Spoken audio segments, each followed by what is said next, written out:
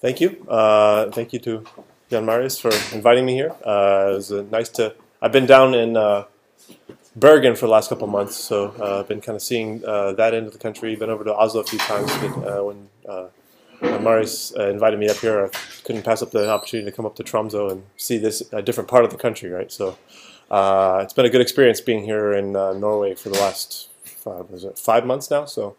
Uh, but I'm nearing the end of my time, so I have to go back to the real world and uh, teaching and all that stuff. So uh, been busy and been had a good opportunity to give a couple talks like these to talk about my work, uh, to talk about laptop music, and to talk about uh, granular processing and that sort of stuff too. So. Um, just to kind of gotta get started, I wanted to play an example for you of uh, my work. So this is going to be a little bit weird. I'm not actually going to perform live on laptop for you. I'm going to show you a video of me performing live on laptop. So this is a mediated performance of yeah. Anyway, it, it's bizarre. I I, under, I understand if you're confused like I am, but uh, I think it's it'll be uh, good to show you though because it's actually a video capture of my screen while I'm performing.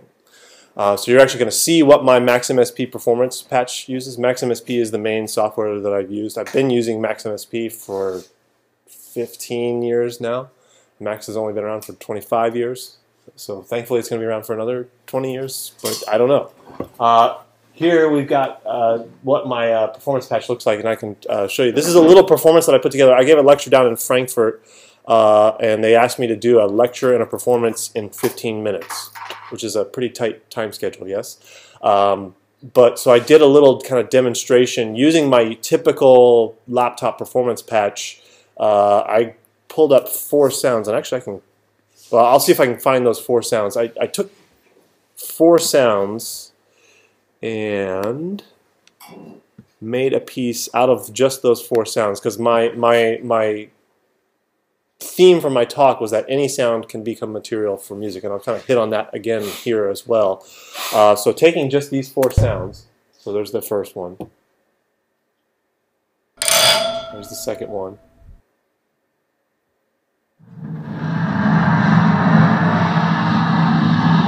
Longest way.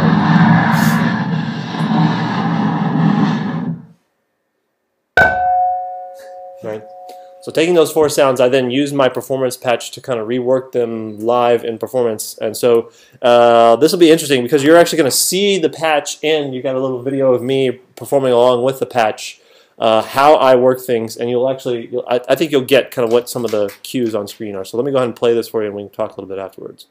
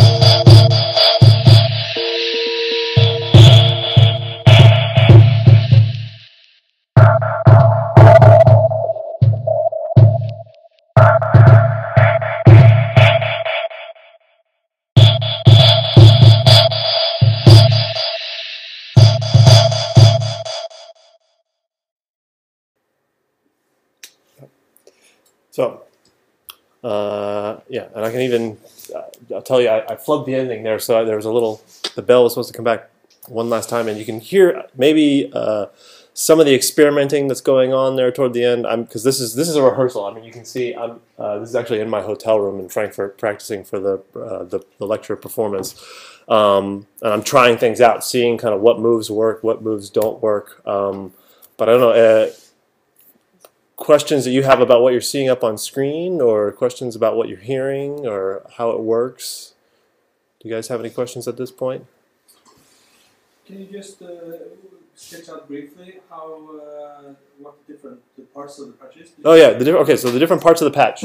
Uh, I've got up here. This is called the I call it the rhythm bank. Okay, so rhythm bank. Okay, I can then uh, I've got 64 steps across in the cycle. Uh, I can then tick off where I want certain things to do. So if I let's see if I can mute this and then run back and play it. So you can see where I've got rhythms ticked off here. That's what the green, each row is a rhythm, okay? Okay? Uh, and I can fill in rhythms and change rhythms. Uh, there's other transforming. I kind of played, stayed pretty static. I was supposed to be doing like a four minute performance, so I didn't do get too fancy with what I can do in, in this. Um, these ticks at the top are like uh, allow me to like peck in certain rhythms, basically. So if I don't want just like four and two and eight and those sorts of things, like right now I got you know four and seven. So you see how they kind of line up here at four and seven. So it allows me to kind of explore different rhythmic combinations, if you will. Uh, and then this is a patching matrix, so I can patch in the rhythms to my different sound producing devices down here. Okay. Uh, and this one, again, I stripped it down. I'm just using my, my little tiny sampler, I call it. Uh, it's where I can drag and drop sound files. Uh, and then I can change the window of what I'm playing, what part of the sound file I'm playing. Uh, I've got a band limiter, which basically gives me a high pass and a low pass filter that I can use to kind of rein in what part of the frequency spectrum I want. Uh, and then I've got a, an echo uh, mechanism here that I can add in. You may have heard that jump in and out at certain points. Uh, and these are, um, I guess, these allow me to randomize and or cycle through different settings on the parameters in this patch. So they're, these are, uh, I guess, mechanisms for transforming settings on the actual tiny sampler, if you will. Okay. Um, so that's basically an overview of what, what it does, uh, what the performance patch does. Um, no, any other questions about yeah. Well, sure. Because I think it was really interesting what you did. Yeah. Do you think? Do you, uh, so the, do you have? Because uh, you, you played several different sounds. Mm-hmm. So do you have several uh, tiny samplers up Yeah. Uh, so if you saw, there were a couple moments in the patch. So yeah, different tiny samplers. It looks like there's one layer. Uh, but if you can see right in here, this A, S, D, F, I've built it so that on the keyboard, I, I'm actually, it's it's a layering effect. Uh, this is one of the ways that I've, I mean, in performing with laptops, one of the things you're, you're, you're fighting several things all the time. Uh, and one of the biggest thing that you're fighting is screen real estate, right? You don't have enough uh, uh, area on the screen in order to fit all the parts of your, your instrument that you want to fit on, on the screen at any given time. So one of the things I figured out how to do is actually use the keyboard to adjust uh, a layering effect you may have seen there's like this black bar that went across the screen several times that showed like I, I that I had pressed a key. Let's see if I can find one. There's one there. See how it says it says I pressed an F and it actually changed to this layer and it changed the sound file. So even though it, it looks the same, it's actually changing to a different layer in my patch at that moment. Uh, so that's changing to a different tiny sampler. And that's how I'm getting the four sound the four sounds that I played for you originally. Um, that's what I'm how, how I'm accessing the different sounds basically in the different samplers. I have the same thing over here, A, J, and K on my keyboard, adjust the layers here. So that helps me overcome maybe some of the limitations of screen real estate. Okay. So you, you're just using your keyboard now, now I do have. Uh, that's what this is on the screen here. Yeah. I have a little uh, Korg makes a nice little nano controller, right? Uh, I have that kind of patched in, and so you can actually. This is just showing me where the the sliders are on my uh, Korg physical controller. Just so I, I have that there w- for two reasons. One, so I have a, a visual feedback that it's actually receiving the messages, uh, and two, uh, I you can kind of see this area of the screen over here. I can assign it to different parameters in my performance patch. So with uh, just by typing in the name of it, it connects it to a different uh, point in my patch. Uh, and I could change that mapping dynamically during the performance if I wanted to, but for this, again, it was a, it's supposed to be a four-minute performance, so there's not much time to get too fancy. I, I would try to make it straight ahead, simple. Yep. In, in, in this routing, uh, uh, the 0, 1, 2, 3, 4, 5, 6, Yep. 8, 9, is that um, that way? That, that is the different rhythms that you have on the. Yeah, so this way it's the rhythms that you see in the rhythm bank, Ah. and then this these are the outlets on that module in my patch. So I can I have I think actually in this patch there's only five outlets connected to five tiny samplers, but I can connect up to ten things to the rhythm bank and have them routed in different. So some of what you saw me doing over here when these purple dots were changing was actually changing which rhythm was going to which sound basically. So I can change that dynamically as well. Um, I mean, I think one of the interesting things for me in working with music technology and with laptop performance is the ability to decouple like rhythm and pitch and have those be kind of, I guess, parameters that I can send to different sounds and different devices. Uh, that's that's an interesting thing for me. So having rhythms mapped out that I can then send to different sounds is something that I like to play around with. But, uh, how do you see which, uh, or uh, how do you know which one is, uh, which sound is? I mean, from from the, what what you see on the screen, you just uh, is there a way for, for you to just uh. Uh, if I scroll back to where I'm at A, okay, that's that first kind of like wood hit that you're seeing here in the blue area, um, which is giving me kind of the bass drum kind of effect. Uh, then this is that kind of swiping sound. Yeah. Number S is that layer. Right. So uh, actually, basically, the, the different layers are Mhm. the, are the different Are the different sounds that I played for you originally? Yep. And, and. Yeah. uh, um, Mason is he's a he's a pretty accomplished programmer. He's done uh, a pretty well known granular synthesis Yep. patch for Max. Uh, but how much how many of these modules did you create yourself? Uh, all of well, let's see. I think the only one I that isn't mine is this Echo one. That's part of and the panning and the Q script. So I've I've started building off of what's in Jamoma. Jamoma is another uh, group of Max MSP patches and some other things as well. But one of the things that it is is, is a set of modules for Max MSP that you can uh, download. And Trond Lossius down in at Bergen Center for Electronic Arts and uh, Alexander Refsum Jensenius, who's at University of Oslo, have both been involved in Jamoma development uh, quite a bit, and that's that was part of my reason for coming to Norway was to spend some time working with Trond and also get to meet Alexander and work with him a little bit. Uh, so, uh, but it's Jamoma that gives you the ability to make these kind of like block modules that you can then stack in your patch um, and uh, reuse them. So the, one of the reasons why the layers look the same is because it's the same uh, patch that you then load into your patch and reuse it. Make sense? Yeah. So that's me performing. So let me talk a little bit about, I guess, uh, where this idea.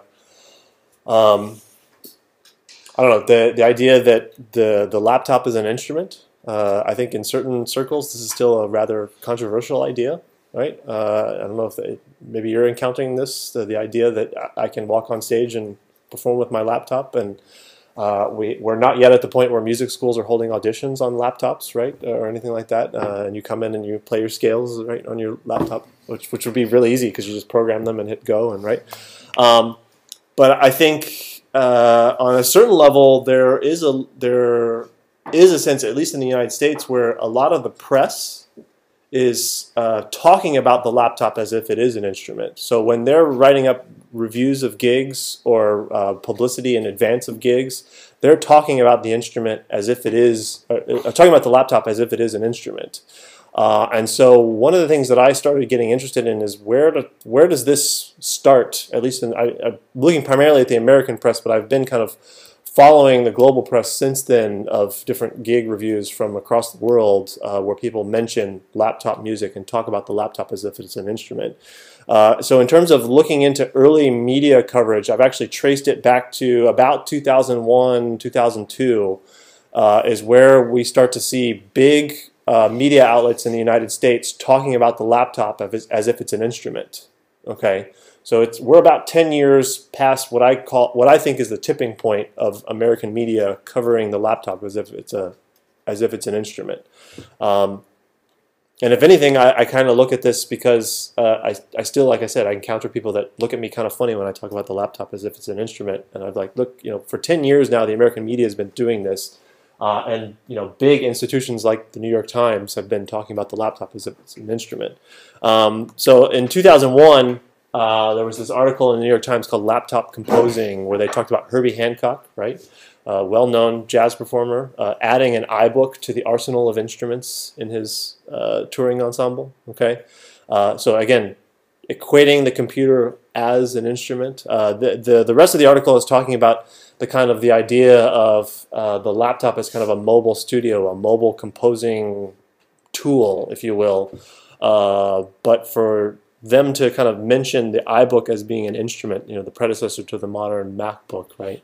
Um, but then you have kind of uh, what is one of the stereotypes, right? The idea of someone hunkered over the laptop, you know, performing, right? And all you see is their, uh, you know, the glow of the, the screen on their face as they're kind of staring blankly into this, which I think was kind of interesting for me to play the video of myself doing that uh, for you all, rather than so I'm just sitting here watching myself do what uh, I do, what I would typically be doing in performance. Uh, but if anything, I'm kind of staring at myself, staring through the screen. So it, that was an interesting kind of, I don't know, postmodern moment where things are kind of folding back on themselves, right? Um, so yeah, but this even in 2001, we have kind of this this uh, this stereotype starting to be formed of okay, it's not really interesting to watch someone staring at their computer, right? Um, 2002, NPR is the national public radio. They're the kind of the, uh, the, the government-owned, government-controlled uh, uh, media outlet uh, on the radio station in the United States. Um, so even then, they're talking about uh, the. Uh, and I've, I've been told that this you have this expression too. The that it's as interesting as grass growing, right? okay. So they're, they're equating watching someone perform on laptop with uh, watching grass grow. So it's it's not quite as interesting as a guitar solo or a piano solo or whatever. Okay, um, so that I, it, it, it was interesting to me that what we all have kind of accepted as a stereotype of laptop performance, uh, it goes back to kind of this this this tipping point as well. It enters into the the dialogue in the American media of, of uh, talking about laptop performance and talking about it not being very interesting to watch. Okay, uh, Wired magazine uh, had actually a cover story in 2002 called "Songs in the Key of F12." So if you think about your keyboard, right? Okay, okay, a nice little play, a pun, right? Um, but it ran with this kind of ominous subtitle that first you know, software turned the laptop into a musical instrument, and now who's in control? This kind of man versus machine, you know, uh, I don't know, post-futurist kind of idea of you know the the machine being taking over and being in control of things. Um, but it's actually a pretty good article, and you can access this online. So if you're looking at kind of like early American media coverage of, of laptop um, music, Wired magazine has this article uh, in their archives. Um, and it has a pretty good survey of both the New York scene and also the San Francisco scene of, of laptop performers um, out there kind of making electronic dance music on their laptops. Um, and then we have the New York Times in 2003 talking about uh, that that uh, they were talking about this uh, open air series, which was kind of a um, I don't know. Well, jazz musicians have this, uh, and and also folk musicians have this uh, this uh, tradition, right, of everybody kind of getting together, bringing their instruments, and just having kind of jam sessions, if you will. Uh, in 2002, 2003, there was this series in New York of laptop musicians doing kind of the same thing. Everybody kind of showed up, and they take turns playing things for each other. They'd get tips on their software, that sort of stuff.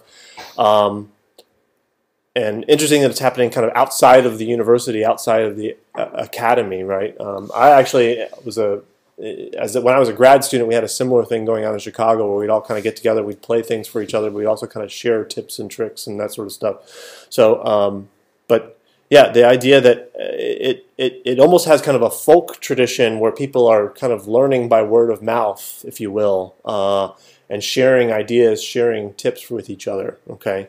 Um, so really, um, I think for me though, it's not so much the. Uh, I think it's it's easy to get lost in the idea that it's you're making a statement about the technology. The laptop is the technology by which I'm making my music.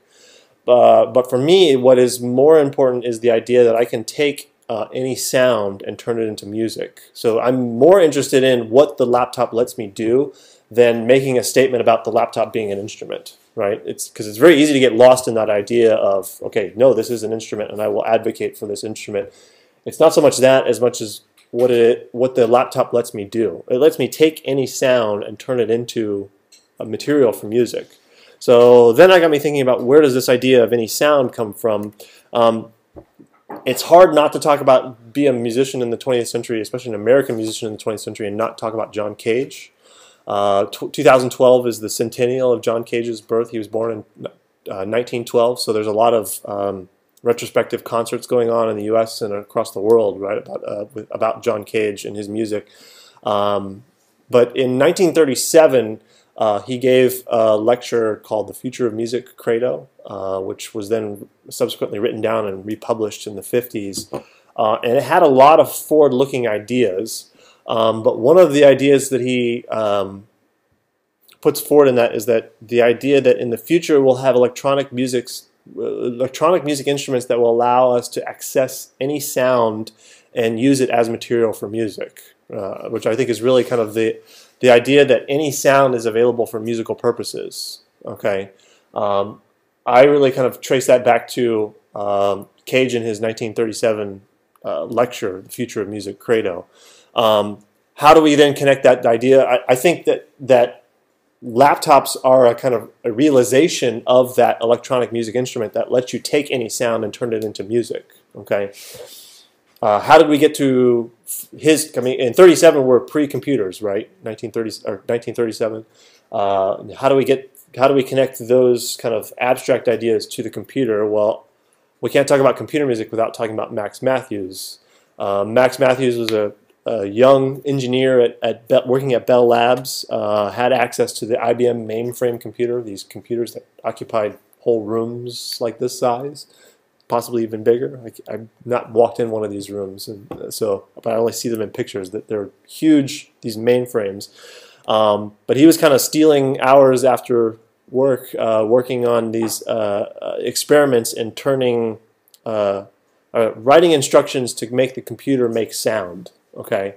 Uh, and he saw the possibility of um, this being generalized uh, to where any sound can be produced by computers. Okay, he, he wrote in 1963. He talked about you know uh, the ones and zeros that computers uh, speak can be used to describe any sound. Therefore, any sound can be made by computers. Okay, so to me, it's kind of connecting the dots between 1937 and then 1957.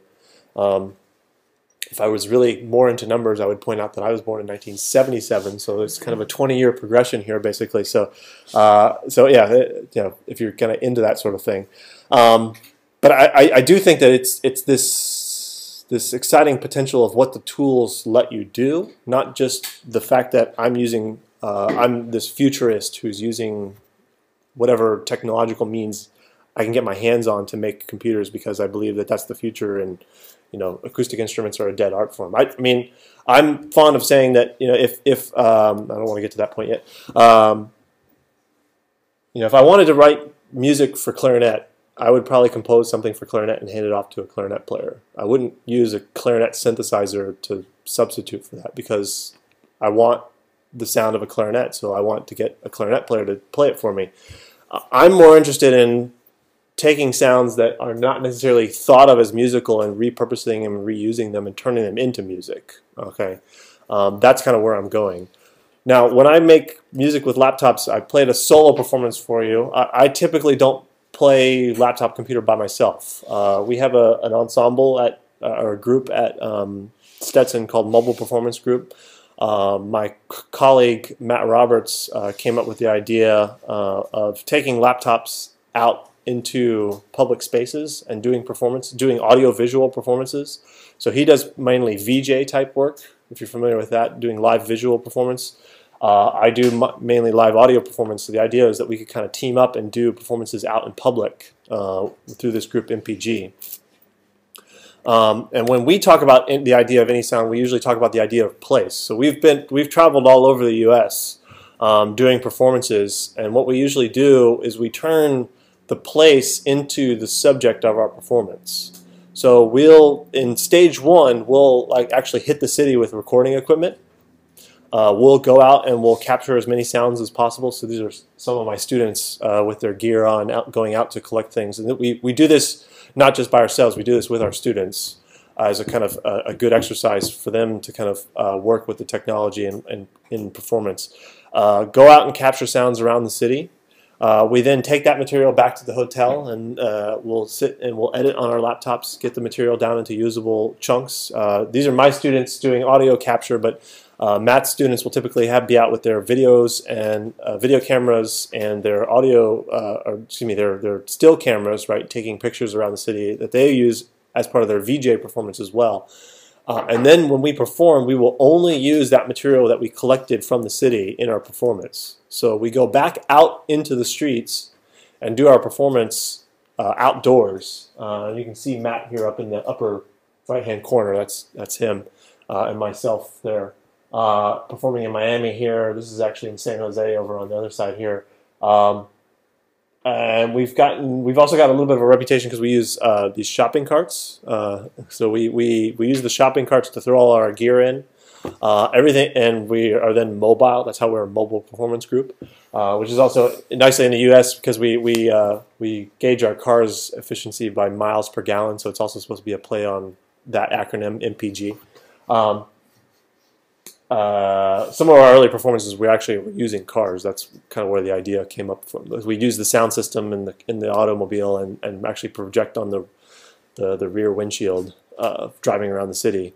Um, but then we kind of landed on this shopping cart idea, which seems to uh, uh, resonate with a lot of people. Uh, moving around the city in shopping carts and then connecting everything up. We have a sound system that's made of uh, repurposed car stereo parts, and it all runs off of a car battery uh, basically. So uh, we can do our performances. Uh, and you can kind of see there's an inflatable back here. Uh, this is a kind of, uh, they, in the US we sell them as kind of a painting your, painter's drop cloths. So when you're painting your house, you can make sure you keep it off the floor and the carpet. Uh, but the material is kind of translucent. So if you take two of them and heat the edges, you can make a big balloon that you can then project on.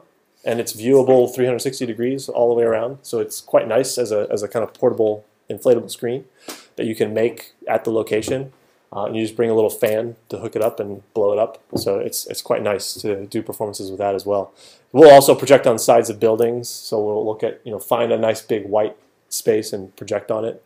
Um, so we usually are out performing at night for that reason. Although Tromsø would be a good location, right? Because you've got a lot of you got a lot of uh, very little daylight out here, so we could be performing in the afternoon. Right? Anyway, uh, thought note to self. Okay. Anyway, um, so yeah, I wanted to play uh, uh a performance uh, clip from us performing. So what you're going to see here, you're not going to see video of us actually out on the streets. You're going to see video of what the projections looked like. Uh, this we did in in Miami. We were in an area of Miami where there's a lot of graffiti art. Uh, and we there are actually a lot of discarded spray paint cans. So we actually were using the spray paint cans uh, to to hit as percussion instruments. Uh, what's nice about them because you have different sizes and different, uh, they have different tones to them, so you can use them as rhythmic devices. Uh, so we were actually doing some pre-capturing and some live looping if you, uh, with the with the spray paint cans. So performing on the street, hitting them, but I had a max patch set up that could record what I was playing over one rhythmic cycle, and then it would just keep playing it over and over again, much like uh, these looping pedals that you see that are sold commercially. So uh, this is spray paint can with uh, MPG. Let me pull this up. Go full screen. Run it back.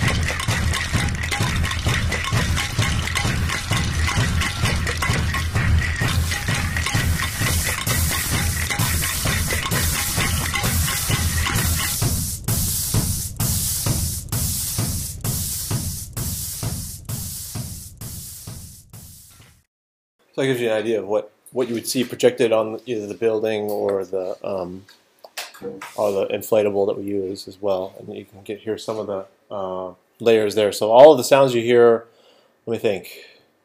I think even the kick drum sound is a paint can that was just shifted, pitch shifted way down. Um, the kind of droning that you hear was actually a, an air conditioning unit that we landed upon. Uh, that kind of ringing, almost kind of don't know, didgeridoo kind of sound. It's actually an air conditioner. Uh, I mean, we're really interested in this this aesthetic of you know collecting you know everyday sounds out in the city and, and using them in performance. So, um, know, any questions about MPG, or do you get a, get a sense of what we're doing there? Uh, how long do you, does it take, like, if you travel to a new location in Yeah. town, and uh, much time do you have until the performance? Yeah, we usually we usually do it over a three day period. So we'll go out. I mean, first day we get there, we'll usually go out and collect. We'll often go back to the hotel and start editing. And if we realize we need more material, we'll go out the next day again and collect, and then finish up editing. Uh, and usually by the night of the second, we're we're improvising with the material in the hotel room, kind of trying to figure out what sounds good together, what looks good together, that sort of stuff. Um, for that reason, we've built kind of patches, and my students have built. That's part of. I mean, this is again the, their educational outcome, right? They have to build instruments that uh, can work with sounds and throw. They can throw sounds at them like samplers, like my uh, samplers that you saw, um, pretty quickly to be able to change sounds and figure out what sounds good together, what doesn't sound good together. Um, I do give them the, the rhythmic component. I give them that part of my patch, and I and then I have another patch that allows us to communicate over a network so that our all of our clocks are synchronized. Um, but they're responsible for building the sound producing mechanisms. So all they're getting is a little click, like a pulse, basically, that tells them when to play. Uh, they've got to turn that into musical sounds, basically. Um, so yeah, the the actual building of the instruments has to happen before we get to the city. Uh, they have to have worked on that and built those up. And we'll usually do kind of some some trials with local sounds, so they get a feel for how their instruments work. They can make tweaks, but they're often making tweaks to their instruments right before the performance as well too. So um, yeah, it's a good way to learn. to kind of have a, to have a performance deadline is a good way to learn. Yeah. yeah, that, I think I talked through the timeline. So yeah, after the second day, we're usually improvising, and we'll kind of figure out, I don't know, three to four kind of moves or grooves or feels, basically. Um, uh, and they're usually things that we can kind of just jam on over an extended period of time. Uh, one thing we found when we're out on the street, let me pull it back up my uh, keynote here. When we're out on the street performing, okay, uh, I, don't know if this is a function of the fact that we're using laptops or the fact that we're out on the street or, or what, but people feel uh, okay walking up to us and asking, "So what are you doing?" You know, unlike if we're there with like guitars or whatever. That you know, there's that I don't know that unspoken rule of like musical performance that you don't interrupt the musician while they're performing. People don't get that with a laptop ensemble out on the street. They they think that you're just kind of I don't know queuing up sound files or whatever, right? Maybe it relates back to the same uh, stereotype that we uh, I talked about when I talked about media coverage, that people don't quite understand that your actions are impacting what they're hearing and seeing. Um, so yeah, one of the other things my students have to get really good at is explaining really quickly what they're doing, so they can get back to performing. So, um, and also building uh, generative elements into their patch so that they can kind of flip it over into generative mode. So it'll it'll make some changes while they're talking to somebody, uh, that sort of thing. It also it doesn't end up being too bad because uh, if we're all making as much sound as we possibly can, it ends up sounding pretty cacophonous, as you can imagine. Uh, because a lot that's one of the things with a laptop. It, it you, you, you, one laptop can make a lot of noise, and then and then if you throw three or four at the problem, they're making a lot, even more noise. So it's actually it ends up being a good thing if somebody steps out and talks to whoever is asking questions to kind of explain who we are and what we're doing. So, other questions about MPG?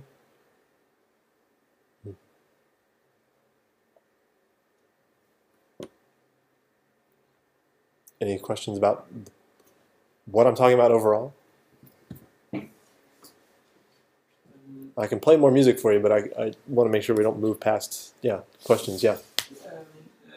we're talking about you know the, this uh, this uh, stereotype of the laptop musician. Yeah, yeah. And I, I see that a lot of people are, are building their own controllers. Right. Uh, have you worked anything with that? Yeah, I think I think uh, not building my own kind of like uh, controller, but I think my my venturing into live looping was trying to answer that problem. So people, I found that people had a much different response to me with the fact that I had a microphone and I was hitting spray paint cans into the microphone. They got okay, yes, he's performing something here. You know, um, same thing with you can see we have water bottles there. We were actually explore, exploring the water bottles as well because they make nice deep resonant tones. Uh, I think actually one of my favorite sounds that I got. If you take the microphone shove it into the mouth of the water bottle, and then put the water bottle up to the speaker, you get the feedback whoop, but you get kind of a tone out of the, the water bottle. That was one of my favorite sounds that I discovered from these things. Uh, so I just tidbit there. Uh, ways to shape feedback. You know, much like you would with an electric guitar, shape feedback. You can shape feedback with any kind of resonant body. Um, yeah, so the live looping was my kind of attempt to kind of uh, step out of just controlling the laptop.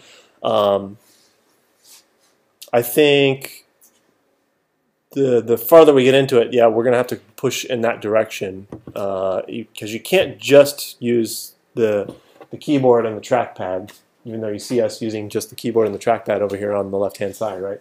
Um, let's see.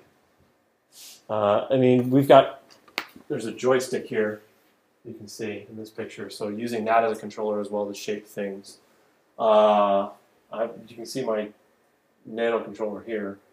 Um, usually my students will pick up some sort of you know slider bank or whatever.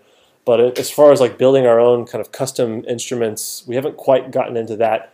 Um, one of the interesting things my colleague has done with uh, the, is he'll use you know Apple for a while before they started embedding these lovely webcams. They started making that little iSight camera, uh, which uh, he likes connecting that to his computer and then using that to kind of explore surfaces and in live and real time performance. So those actually can be quite nice webcams for the the visual side, the video side of things. But um, I think more and more we're gonna have to kind of think about how we build our own controllers for for performance.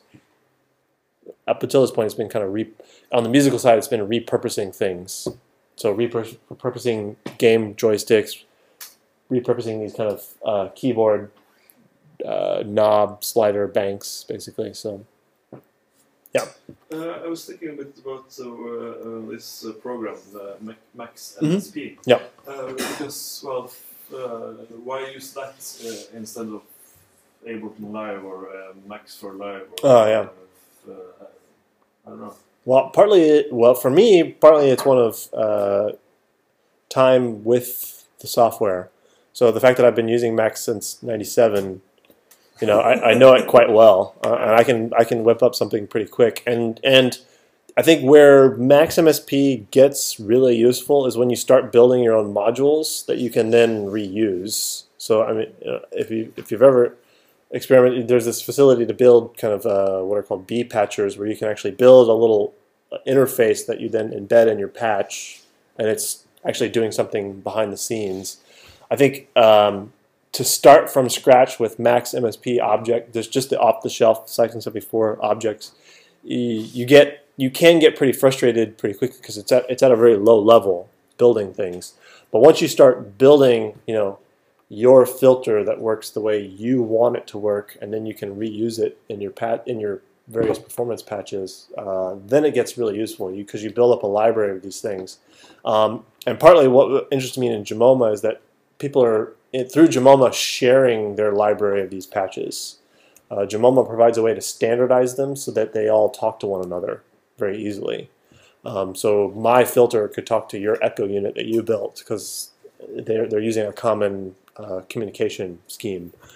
Um, so yeah, that's that's part of the reason what, what, was, what was interested me and Jamoma is when you start building these modules for yourself, uh, you eventually build up a lot. I've been doing it long enough that I've got a library of them. That I've, okay, I've got my sampler, I've got my filter, I've got my uh, echo that I like, um, and maybe you know I had this idea for what I, what I like about Max is um, unlike off-the-shelf plugins.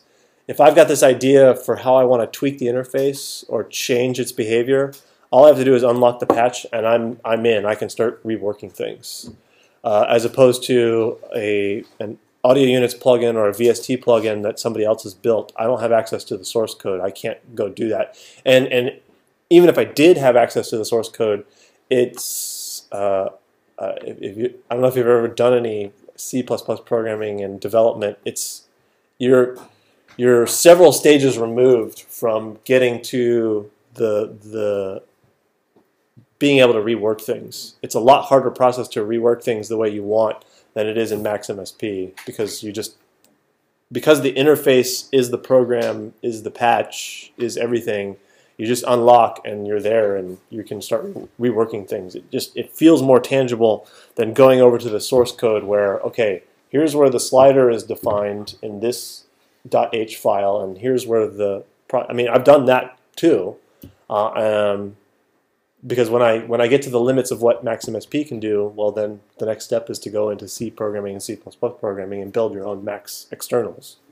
Um, and you can do you can step into that level as well too. So But what about if you're kind of in the in, in between, if you use li- Ableton Live, Mhm. because you have this uh, Max for Live Yeah. thing, is that sort of able to do sort of the same things? Uh, yeah, yeah, it's able to do some of the same things, and and uh, I guess for me, I'm not opposed to it. I mean, I I bought Live actually this past summer, and I'm trying to get into Max for Live uh, and using it because there are some nice things that Ableton does that uh, it does just really well, you know. Um, so I've actually started experimenting with transporting some of my um, some of my modules into Max for Live plugins.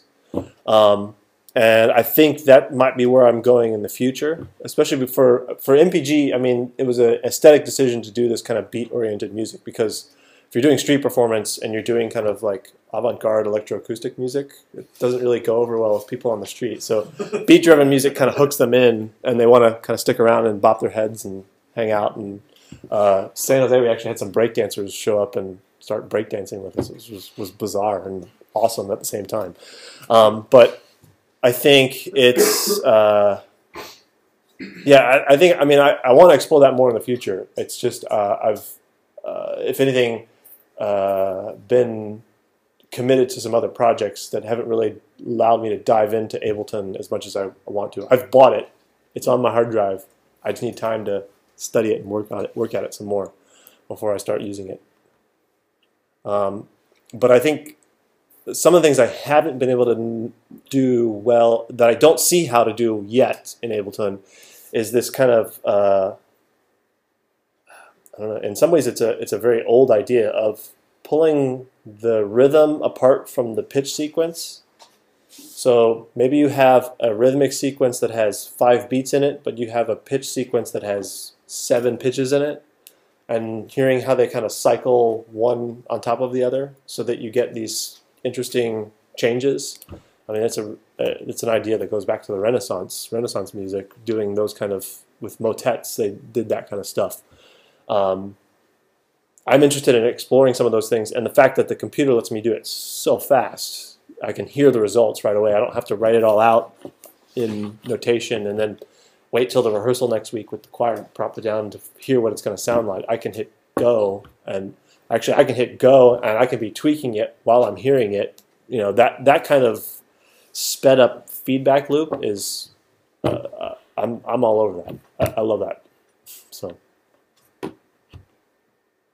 and, and Max lets me do that pretty quickly. Yeah.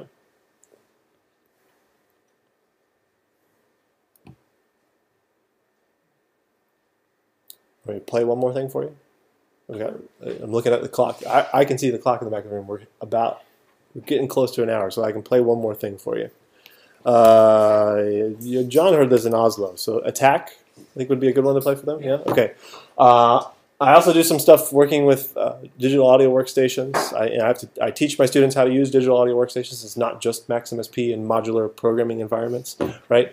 Um, so I was trying to think of a way to kind of uh, I don't know brush up in some ways uh, brush up on my skills in the digital audio workstation and kind of get in there and play around with it, but also to think of an exercise that I could also feed to my students as well.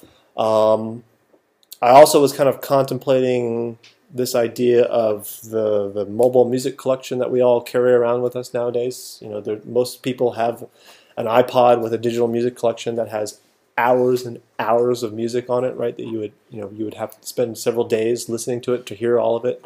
Um, and also thinking about the idea that this is a uh, these are sound files that are locked. You know, thinking back to that any sound, right? Okay, if any sound is available for music composition, but I've got this collection of sound files that is supposed to be for consumption, not production, right?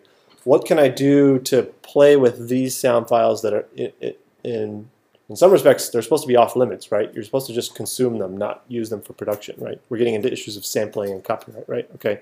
How can I do something interesting with those? So I came up with this idea for Attack in 2011. Um, and it actually exists as a score.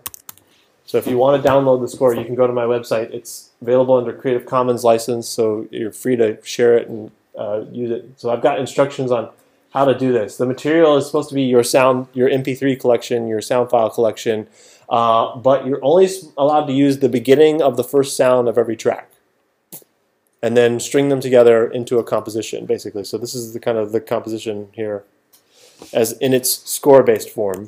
This is the composition in uh, my rendering that I did. It's a little over five minutes, so you can hear kind of some uh, some examples of this, how this works.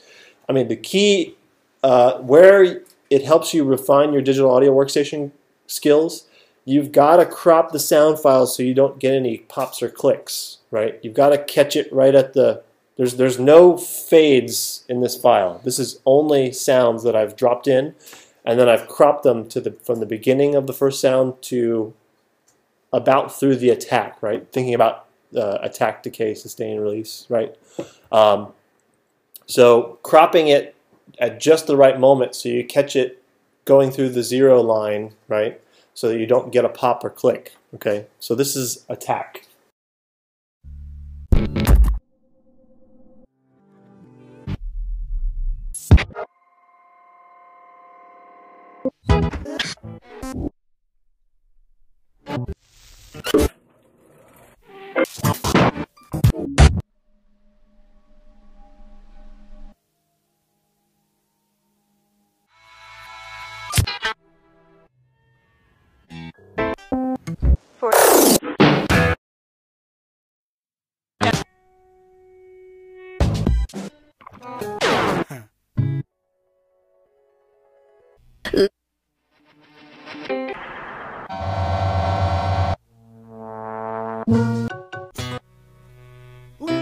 You, you support?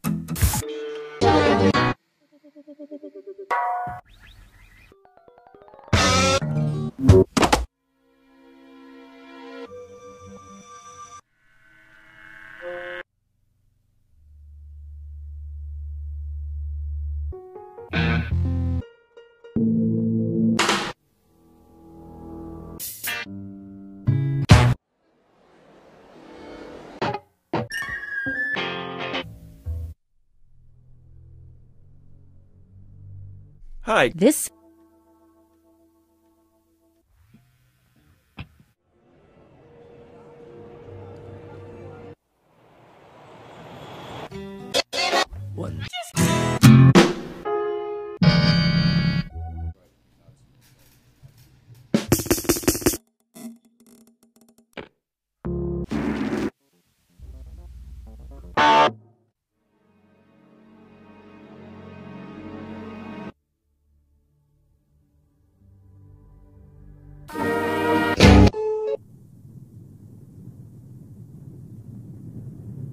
Darling.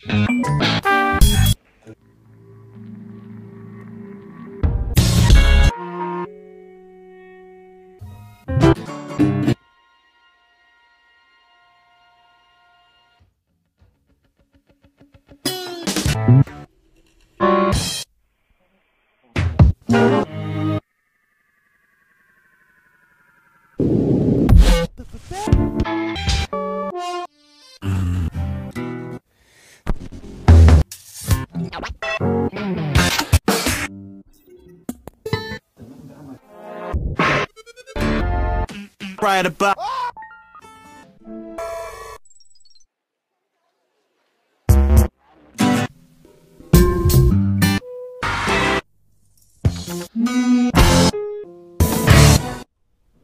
Your pack. Bust.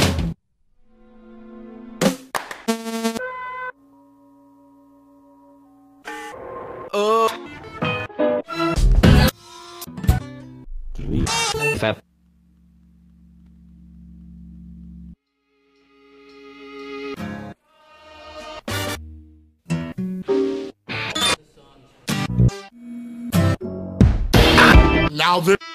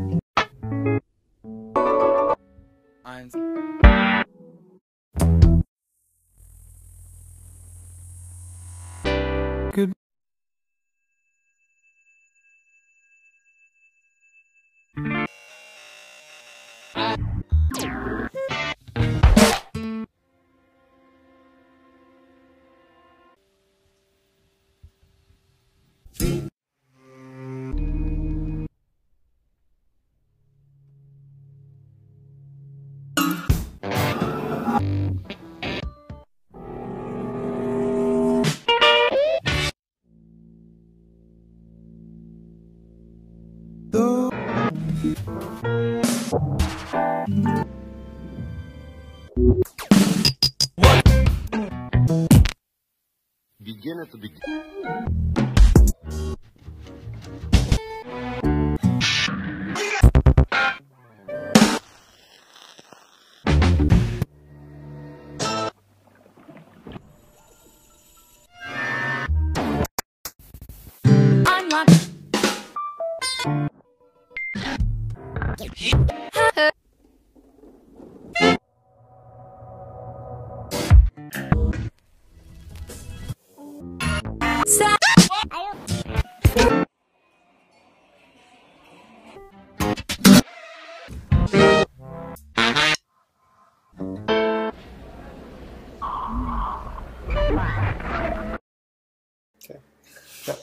Yeah. Thank you. So, I don't know. Do you have any other questions or? How many songs uh, were there? Oh, how many? Uh, gosh, I don't know. I know that I did not go. oh, What is that? Okay. Oh, Get back in here. I know that I didn't make it all the way through my uh, iTunes library before I hit the because I was it was a piece I was doing for a concert and we had a five minute slot for this piece. So I got to five minutes. I was like, okay, I'll have to do attack two some other day. It's basically so. Yeah, I still have to finish going through my collection. Um, I did. Uh, I mean, a little bit. Kind of. I guess the process of how to speed up the this uh, putting this together. Uh, because if you were to try to da- uh, copy your entire iTunes collection into Pro Tools, it'll take forever. Ready, you know, it goes through that process of readying the files and everything. Uh, imagine doing that with however many thousands of songs are in your iTunes library, and you get an idea how it, might choke. Uh, so uh, I used Amadeus first to go through because Amadeus is a shareware program, kind of like Peak, if you've ever used Peak, but it has a batch processor. You can point it at a at a, a folder and and set up a batch process for what you want to do to those files. And so I had it go through my iTunes library first and strip off the first. Um, I think five seconds or seven seconds, something like that. Because some some tracks have silence at the beginning of them, right? But I wanted to make sure I captured the first sound, so I had to do I had to overcompensate a little bit. Um, then, so that dumped into a folder with all of the you know the first five seconds of every track. Then I pulled that into Pro Tools, which was much faster than trying to download the whole iTunes library. So there, there's a multi-step process there, basically. But I mean, the only uh, the only stipulation of the score is that don't let any idea ever finish, basically. Um, so uh, you can hear how all these things kind of just get started. Um, but it's amazing how you're playing it in a room like this. Everybody recognizes at least one track in there. Yes, okay. Uh, there's at least one thing in that collection that you you recognize, and you're only ever hearing probably at at, at most a second of it. Um, and it's amazing how that plays on our. I'm also interested in music perception sometimes, uh, and it's amazing how playing just such a short bit of a song can trigger the memory of it, and you you know what it is instantly. So Yeah, it must be the world's hardest music quiz. yeah, yeah, I can imagine playing that yeah, for, for my students. Yeah. Okay, go. And then I just is your sit- exam. Five minutes. Yeah. Yeah, figure all these out. Less than fifty percent. Yeah. I don't know that to be fair because some of them are. Um, I've I had some student projects making into my collection along the way because I, I often, uh, uh, you know, I, I have so many students making so many projects. I can't sit in my office and listen to all of them all, all the time because I'd be there for hours. So sometimes I'll upload them onto my iPod and I'll listen to them while I'm in the gym or biking into work and that sort of stuff. Just to, and then I'll listen. I'll read. I'll do like a first listening and then do like a close listening in my office. But that way, at least I'm not in my office listening to them three or four times to hear everything. So, yeah. So some of the things it would be impossible for them to identify because they're a student project that was like in week five of two years ago. So yeah, yeah. yeah. But some of them they should know. Like you know, I think smells like Teen Spirits in there. That's one that you should know that crunchy guitar at the beginning. Yeah. So. Um, yeah. Um, I wanted to hear at the beginning of the uh, game. Like, sorry about that, but uh, Yeah. Uh, and you're talking about students. How Mhm. many students do you have, and uh, how young is the youngest one? Well, so yeah, I'm teaching um, undergraduate students. Uh, so they're between, well, typically they're between like 18 and 22. Um, I have a few kind of returning students that are coming back to get a bachelor's degree, and they, they can be older, up closer to 30. Um, but yeah, I have, I think currently in my program, about 28 students. Uh, I've been north of that around 35, uh, and much like Jon Marius here, I'm, I'm the only one teaching music technology. So it- when we get, when we got up to 35, I was like, help. So yeah, uh, but that's that's about how many students I have. And you know, I try not to make our program about just doing music technology one way. And I try as much as possible to expose them to different ways of using music technology uh, and helping them find that that one way that makes the most sense for them, where they're going to be able to do something, you know, fulfilling for the rest of their lives. Uh, because not everybody's a, a DAW person. You know, not everybody's a Max MSP person. Not everybody's a live sound person. Uh, uh, but we all have these common things like microphones, like speakers, like you know, uh, music, just theory in general. You know, th- those types of things that we all kind of have in common. Um, and I try to, I guess, encourage a, a, an atmosphere of gen- mutual respect for what everybody's doing, um, and give them as much possibility, as much opportunity to network with each other. Uh, because I'm, I make sure that you know once you move on from university, you might be the ultimate, you know, DAW person, but you're going to encounter a situation where you need a live sound person, and you want to be able to call on that classmate that you had back at the university, uh, if not to use them as a contact to, to find out who they know that can help you out in a given situation. So, um, yeah, the, the contacts you build at university uh, can sustain you for quite a long ways out in the real world. Um, even when you get spread out, uh, those guys. I mean, it just it, it's been amazing to me. Also, uh, following my students on Facebook, you know, because they they some of them have bands and they'll tour, and it's like, okay, who's in Boston now? You know, so they'll hit them up for a place to crash after the gig, basically. Uh, and it's because they knew each other in school down in Florida, you know, that they can do those kind of things. So, yeah, I have one student that like he, he takes his band on tour. He never pays for a hotel because he always finds somebody to crash on their floor, basically. So, you know, he'll go up the East Coast and back down, basically. So, so, well, thanks for having me. Yeah, yeah. Thank you.